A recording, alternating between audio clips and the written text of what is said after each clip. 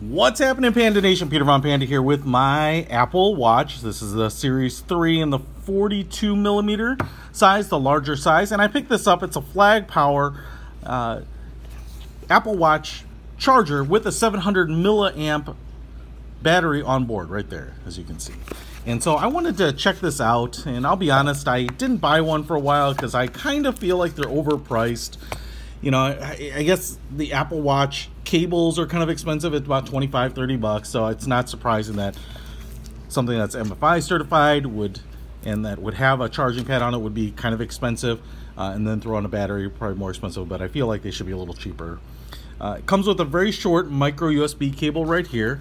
And then in a little foam cutout, we have the keychain slash charger. Looks like it comes with some instructions. Won't deal with that right now. And then here is the charger itself in plastic. When I ordered this, I think it came in like a pink and a gray, so I got the gray. Nothing against pink. Looks like we got a little plastic cover there. And then as you can see, what we have is a failure to communicate. No, we have like the Apple Watch uh, charging pad. You know, it's a little bit dimpled where the back, you know, that glass sensor fits into. Then it's usually magnetic so it'll hold it in place and I don't know if oh and I know that it has a power button as well. So as you can see here it's not the smallest thing in the world but it's as big as it probably needs to be one to have a battery but then also to accept this pad. We have a power button I believe on this side and you hold it for three seconds to power it on and doing the same to power it off. We have the micro USB port right there and then nothing on this side. So the top and bottom pieces are this you know metallic gray color and then the side is like a black plastic. So, looks like we have some LEDs up here. We also have a pleather little tab and a fairly robust, heavy uh, keychain,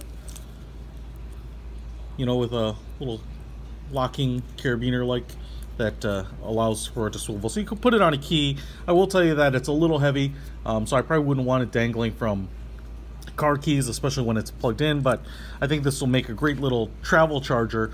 One, because I can use pretty much any micro USB cable that I might have, you know, to charge it and to kind of keep the, the watch charged. But on top of that, um, you know, because it has a battery, if I wanted to quick give my Apple Watch a little juice, I could do that. So let's hold the button down here and see what happens. And looks like it's somewhat charged. Oops, maybe only 25% charged. And there it's charging. So it works.